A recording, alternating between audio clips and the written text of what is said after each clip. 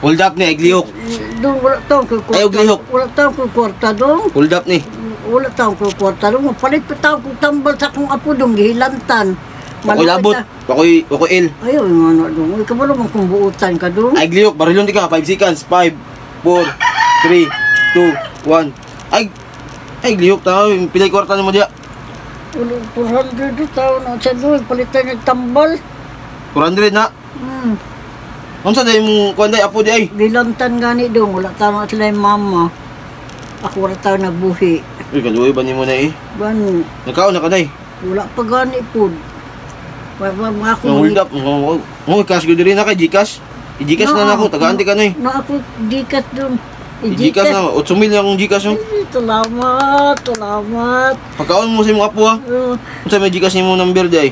09, 09, 70, 70, 69, 69, 89, 89, 1, 1, 4, 4, 0. 0. Largo na ako. 8 mil hatag sa imo. Salamat doon, salamat. Eh, okay ra na, okay ra na. Lugoy yung si mo na ba kay? Dapat yung tambal ay. Ugan ni pagtutuwa. Salamat. Nasi, nasi na ako na eh. O, sige, salamat dong. Nailan. Teka.